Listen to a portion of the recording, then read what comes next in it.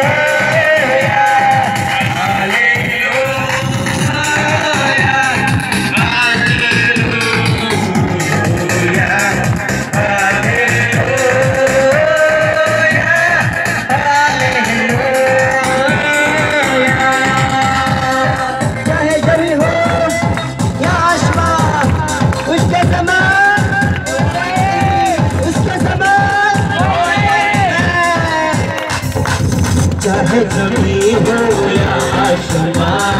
कोई नहीं है उसके